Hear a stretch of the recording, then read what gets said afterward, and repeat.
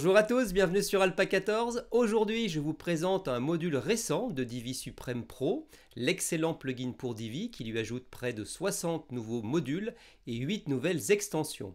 Le module que je vous présente dans ce tutoriel s'intitule Filterable Gallery et comme son nom l'indique, il va vous permettre de filtrer une galerie photo par catégorie en un simple clic, ce qui est très pratique et qui améliorera sensiblement le confort des visiteurs.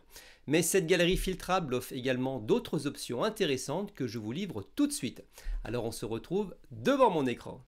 Rendons-nous donc sur le site de Divi Supreme pour voir quelques exemples de ce module Filterable Gallery, galerie filtrable.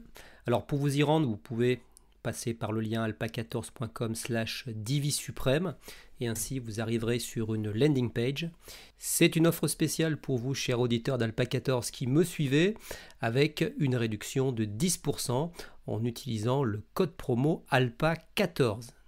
Rapidement, en Divi Supreme Pro, vous avez trois formules. La première Personal à 40 dollars par an avec un renouvellement à moins 30% qui vous permet de profiter de ce bon plugin pendant un an avec toutes les mises à jour qui sont, il faut dire, assez fréquentes. Veuillez noter qu'au bout d'un an, votre site continuera à fonctionner, bien évidemment, avec ces modules Divi Suprême. Cependant, vous n'aurez plus accès à toutes les mises à jour et aux nouveautés, bien sûr, qui sont fréquentes et qui assurent une parfaite compatibilité avec Divi et WordPress.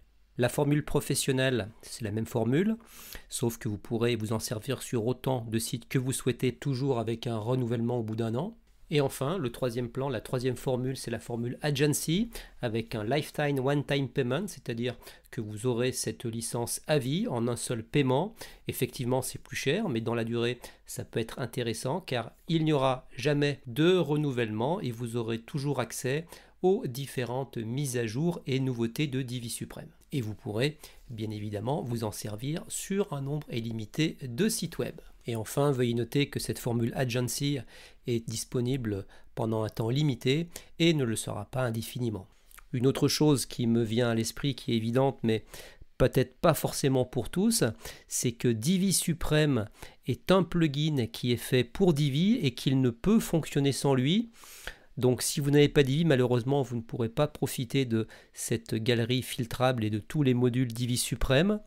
Si vous souhaitez cependant vous lancer dans l'aventure Divi, par ce lien, alpa14.com slash Divi, vous pourrez profiter d'une réduction intéressante de moins 10% sur la licence.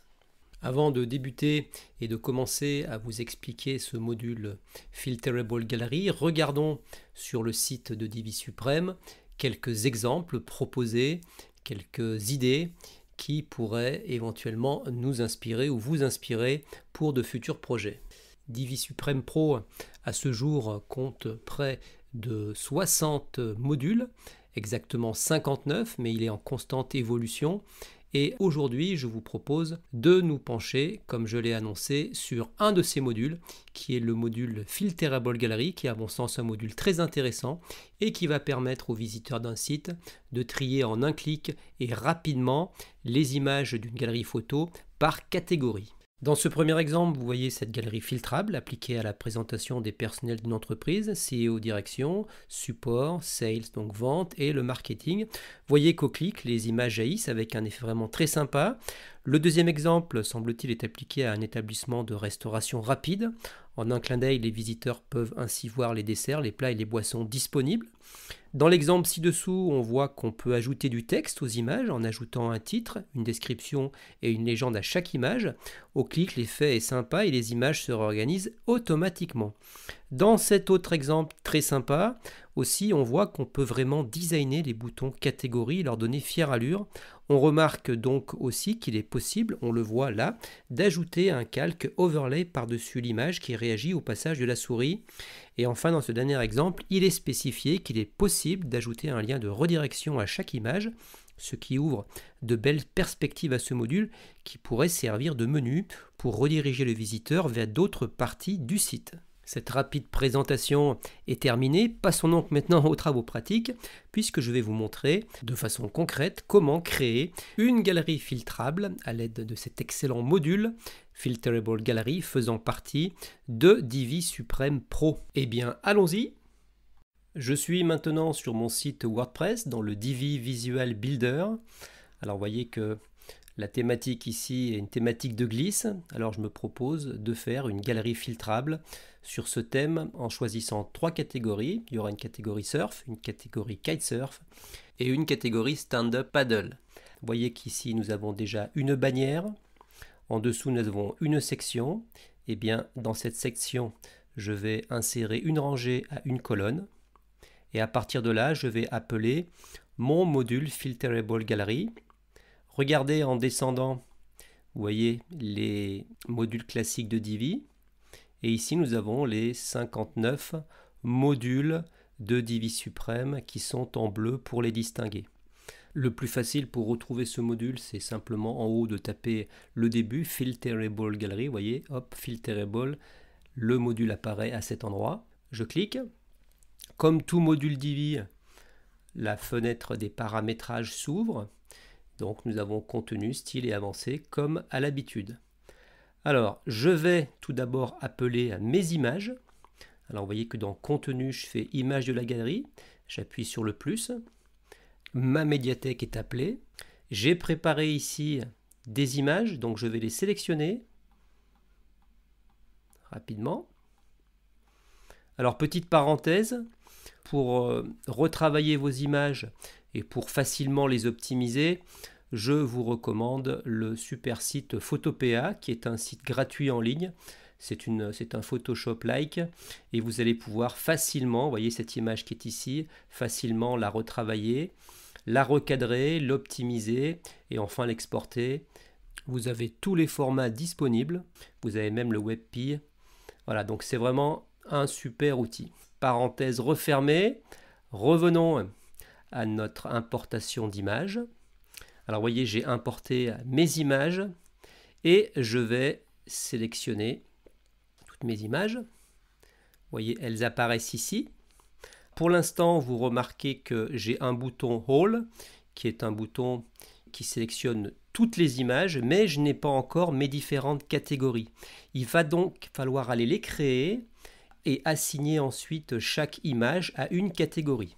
Ce qu'on va faire pour l'instant, c'est que je vais sauvegarder ces changements, puis je vais sauvegarder ma page, et je vais retourner dans ma galerie des médias, ici, médias, dans ma médiathèque, et je vais créer, vous voyez, dans ma médiathèque, je vais pouvoir créer des catégories, des catégories que Divi Suprême va utiliser pour pouvoir classer nos images. On va faire une petite pause, la vidéo vous plaît, vous apprenez des choses. Si c'est le cas, pouvez-vous prendre quelques instants pour liker la vidéo, c'est important pour la chaîne. Profitez-en également pour vous abonner à Alpa 14, je sors régulièrement des tutoriels. N'oubliez pas d'activer la cloche, vous serez comme cela averti à chaque fois que je publierai une nouvelle vidéo. Ça y est, vous avez pu le faire, alors je vous manifeste toute ma gratitude pour votre aide et on continue. Créons la première catégorie. Add new catégorie, ajouter une nouvelle catégorie. Je mets le nom à cet endroit. Ma première catégorie c'était surf. Add new catégorie, ajouter la catégorie. On voit qu'elle apparaît à cet endroit. Ma deuxième catégorie c'était kitesurf. De même, ajouter nouvelle catégorie on voit cette nouvelle catégorie à cet endroit. Et enfin, j'avais dit sub paddle, stand-up paddle. Et de même, ajouter nouvelle catégorie. Mes trois catégories sont maintenant créées. Allons assigner chacune des images à la bonne catégorie. Je retourne dans ma médiathèque. Je vais prendre ma première image qui est ici. Et voyez, à cet endroit, je peux l'attacher à la catégorie Divi Suprême. Ici, ce sera la catégorie Surf. Sinon, vous pouvez aller ici dans Indiquer plus de détails et à cet endroit, vous allez voir, vous allez pouvoir retrouver vos catégories et cocher directement la bonne catégorie. Donc moi là, je vais faire la même chose pour toutes les images. Au passage, ce que je vais faire aussi, c'est que je vais compléter correctement le titre. Alors là, je peux mettre surf. Je vais mettre aussi une légende ainsi qu'une description car vous verrez tout à l'heure dans les différentes options que je vous présenterai de ce module, il est justement possible de faire apparaître ce texte, à savoir le titre, la description ou la légende de chaque image. Rapidement, je vais mettre, moi je vais prendre un peu de texte de décoration, je vais en récupérer sur le site Lorem Ipsum. Voilà. Je vais revenir. Alors là, ça sera ma légende, je peux mettre ça. Voilà, hop. Et puis en, en description, je vais mettre cela. Voilà, j'ai donc fait le premier travail pour cette image-ci. Je fais mettre à jour. Je retourne dans ma médiathèque. Et je fais la même chose pour chacune des images. Vous voyez par exemple si je choisis cette image que je vais attitrer à la catégorie Stand-up Paddle. De la même manière, ce que je peux faire, c'est que je peux aller directement dans plus de détails. Comme ça, il me suffira de cocher Stand-up Paddle, comme cela. Et puis là, je vais marquer donc euh, stand-up paddle, on peut marquer sup. Alors texte alternatif, je peux en mettre. Là, je vais recoller ce que j'avais. Et puis là, je pense que j'avais une autre phrase qui était la première phrase. Voilà, hop. Et je vais coller comme cela. Et je mets à jour. Et ainsi de suite, je fais cela pour donc mes 9 images que j'ai sélectionnées. Alors je ne vais pas vous le refaire à chaque fois, je pense que vous avez compris, je vais le faire donc rapidement et on se revoit dans quelques secondes. Ce petit travail est terminé, je viens de compléter la dernière image et de mettre à jour. Revenons maintenant sur notre site. Je vois que désormais les catégories sont notifiées en haut de la galerie avec All to, Surf, Stand-up Paddle et Kitesurf. Et dès maintenant, vous voyez, que la galerie est filtrable automatiquement si je clique sur Stand-Up Panel ou sur Kitesurf. Comme cela. Alors maintenant, je vais rentrer dans les paramètres du module et nous allons voir ensemble quelles sont les options disponibles. Tout d'abord dans Contenu. Dans Contenu, je peux Use Dynamic Image, c'est-à-dire que si j'active euh, cet interrupteur, eh bien je peux choisir par exemple de faire apparaître uniquement par exemple la catégorie kitesurf, ou alors si je coche sur stand-up paddle, j'aurai le choix entre l'une ou l'autre, ou alors les afficher les deux en même temps. Mais la catégorie surf restera masquée. Si j'enlève kitesurf, vous voyez, il n'y a que stand-up paddle qui reste. Et donc si je le réactive et si j'active également surf, vous voyez que là, à partir de ce moment-là, j'ai mes trois catégories. On va donc laisser le réglage comme cela. Ensuite, en dessous, j'ai Number of Columns, nombre de colonnes. Vous voyez que je peux passer à 4 colonnes si je veux. Ou alors, par exemple, à 2 colonnes. Je peux aller jusqu'à 6 colonnes. Dans notre cas, nous allons rester à 3 colonnes. En dessous, Image Size, ce sont la taille des images qui vont s'afficher. Donc là, j'ai des images, si je fais une lightbox qui sont en 1000 pixels de large, je vais donc choisir une largeur de 1024 au moins, non recadrée, puisque mes images ont toutes la même taille, comme cela. En dessous, nous pouvons jouer sur euh, l'espacement entre les colonnes ou l'espacement entre les rangées. Alors regardez, pour l'instant, il y a 10 pixels. Je pourrais très bien passer à 6 pixels là et 6 pixels là. Donc vous voyez que mes colonnes mes rangées se réorganisent avec l'espace de 6 pixels. On peut laisser 6 pixels. Je peux aussi jouer aussi sur euh, la vitesse de réorganisation des images selon la catégorie cliquée. Pour l'instant, on est à 250 millisecondes, mais regardez, par exemple, si je passe à 500, l'effet peut être sympa. Parce que regardez, vous voyez que quand je clique, vous voyez, c'est beaucoup plus lent. Alors si j'augmente encore ça, mettons, je, mets, je passe à 1500. Alors là, vous allez voir là que c'est vraiment très, très smooth et que ça peut faire un effet intéressant. À vous de voir. Donc pour notre part, on va revenir à 250 ça ira bien, c'est la vitesse par défaut qui est réglée. Ensuite, en dessous, layout. Vous voyez que pour l'instant, nous sommes sur card, sur carte, mais il est possible de passer sur overlay. Alors, overlay, ce qui va se passer, c'est que on va pouvoir avoir par-dessus l'image, vous voyez, une couche sur laquelle il va être possible après de faire apparaître le titre, la description ainsi que la légende. Pour l'instant, nous allons choisir card, même si après je choisirai overlay, car je vais vous montrer quelque chose qui est à faire avec la partie éléments, toujours dans contenu. Alors ici, vous allez pouvoir justement faire apparaître les différents textes. Alors les textes dont je vous avais parlé tout à l'heure, c'est qu'on peut faire apparaître ici le titre, on peut faire apparaître ici la légende, ainsi que la description. Tout à l'heure, vous savez que j'avais renseigné ces trois éléments. Alors regardez, show title. Vous voyez que le titre se met en dessous. Description, elle se met en dessous. Et puis euh, légende, elle se met aussi en dessous. Alors vous voyez que pour l'instant, le design de ce texte n'est pas, n'est pas formidable. Il faudra aller ensuite, si vous souhaitez faire apparaître comme cela en dessous le texte, et il faudra aller améliorer l'esthétique de ce texte. Vous voyez, dans ce cas, il est clair que le texte est beaucoup trop à gauche. Il va falloir ajouter de la marge interne. Vous pourrez également jouer sur la taille du texte, sur la couleur, etc. En dessous, il est possible, en cliquant sur l'image, de la faire apparaître dans une lightbox en activant l'interrupteur Lightbox, comme cela. Donc maintenant, si je clique, vous voyez, l'image apparaît en grand dans une, ce qu'on appelle une Lightbox. Ou alors, si vous avez beaucoup d'images, vous pouvez montrer au bas de la galerie une pagination avec les différentes pages. Cela m'amène directement à la configuration qui est en dessous, où là vous pouvez choisir d'un ordre ascendant ou descendant, et vous pouvez également choisir le nombre maximum d'images qui apparaîtront à la galerie. Si vous en mettez plus, eh bien elles apparaîtront sur la page suivante en activant la pagination. Pour ma part, comme je vous le disais, je ne vais pas utiliser l'affichage carte, mais l'affichage overlay que nous avons vu au-dessus. Donc il me semble que c'était... Non, c'est dans Général, c'est au-dessus. Voilà, Layout. Et là, je vais choisir Overlay. Car vous voyez, maintenant, on voit un peu en transparence, on voit le titre, la description, la légende. Mais donc cela, on va aller le, le styliser, le designer dans l'onglet Style. Voyez également que l'image est recadrée et plus ou moins carrée.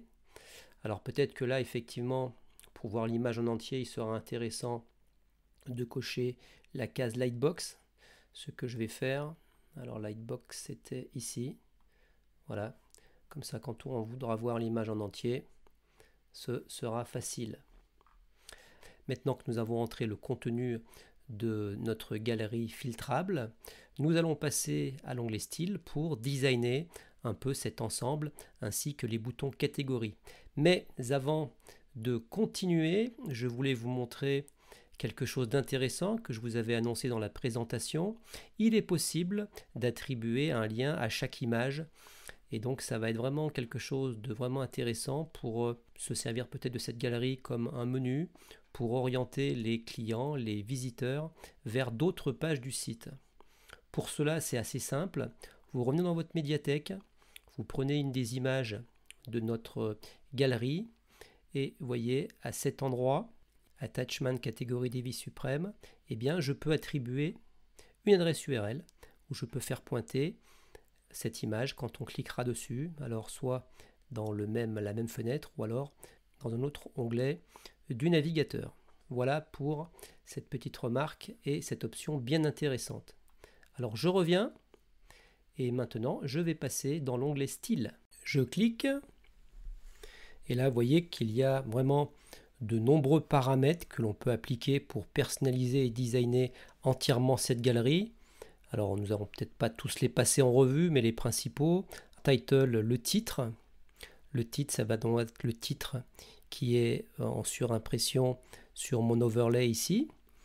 Alors, si je vais sur titre, vous voyez que je peux choisir le niveau de titre, title, H1, H2, H3, H4.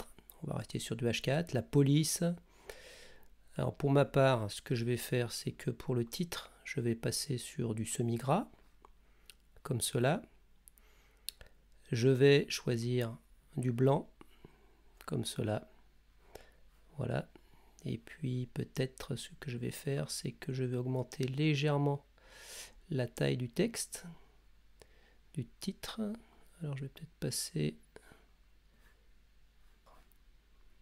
Ouais, 23 pixels, ça m'a l'air pas mal. Je vais en rester là pour le titre. Ensuite, de la même manière, caption, c'est la légende. Voyez, je peux modifier de la même manière. Alors, je vais passer sur du blanc également, comme cela. Et puis, je vais rester sur du 14 pixels, ça ira bien. Et enfin la description. La description qui est en dessous, pareil, je vais prendre du texte blanc. Et puis peut-être ce que je peux essayer, plutôt que de prendre normal, je peux peut-être prendre clair. Essayons. Ouais, bon, pourquoi pas. Ça peut être un effet sympa. Voilà. Donc title, caption, description, titre, légende, description. Ensuite, card. Alors card, je suis moi sur overlay. Donc euh, je peux pouvoir l'appliquer ici.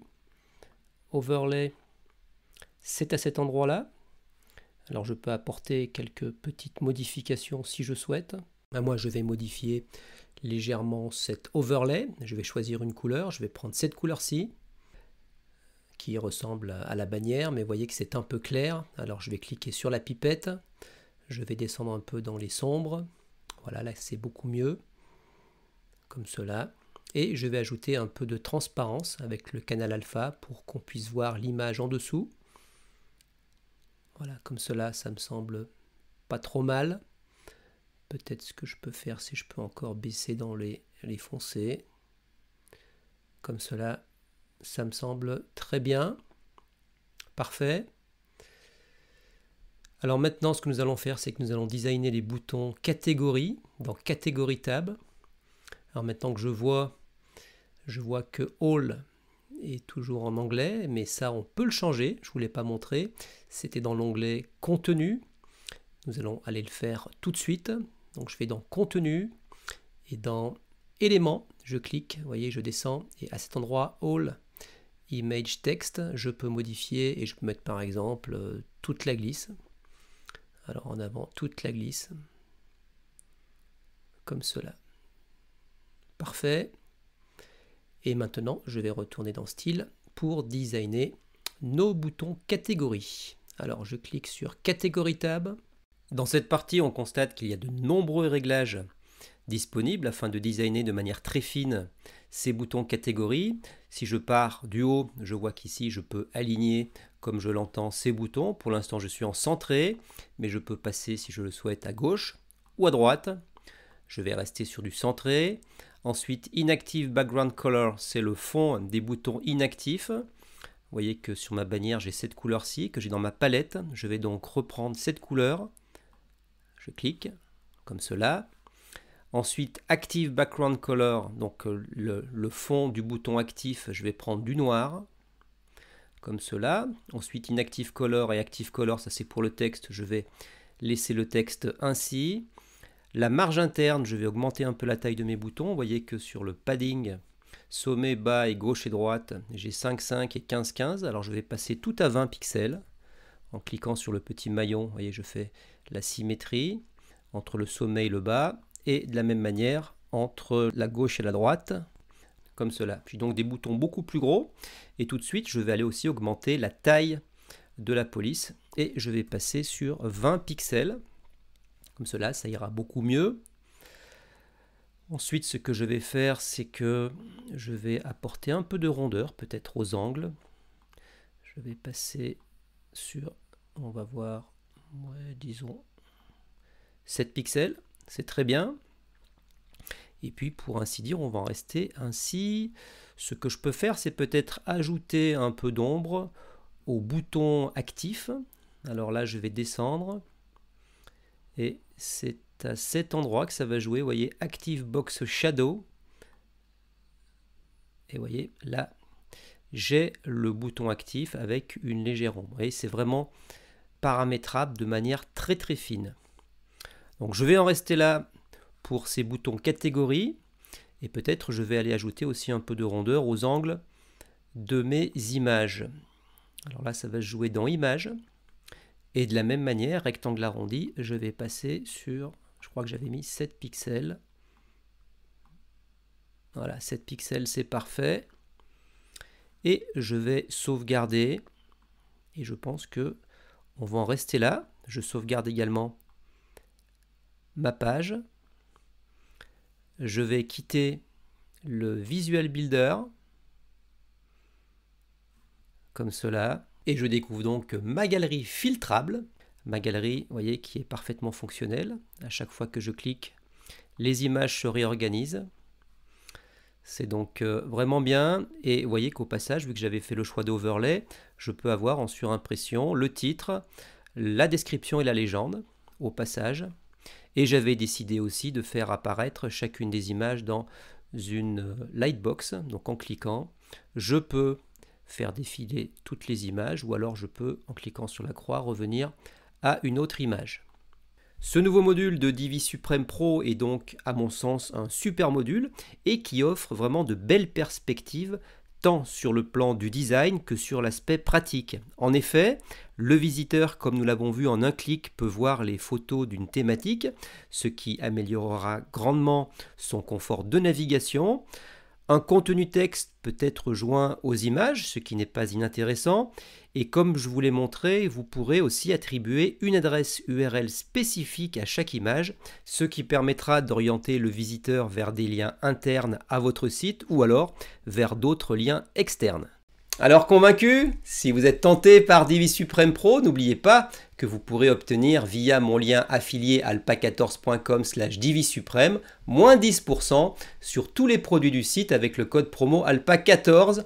Le lien est dans la description de la vidéo et veuillez noter que ce module Filterable Gallery fait partie de près de 60 autres modules compris dans Divi Supreme Pro qui vous permettront de décupler les possibilités de design d'un site WordPress Divi.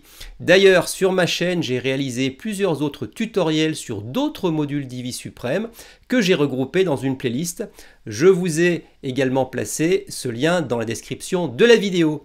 Merci si ce n'est pas déjà fait de liker ce tutoriel et de vous abonner à la chaîne en activant la cloche pour être averti de la sortie d'une nouvelle vidéo. Alors on se revoit bientôt, je l'espère, et d'ici là, prenez bien soin de vous. Ciao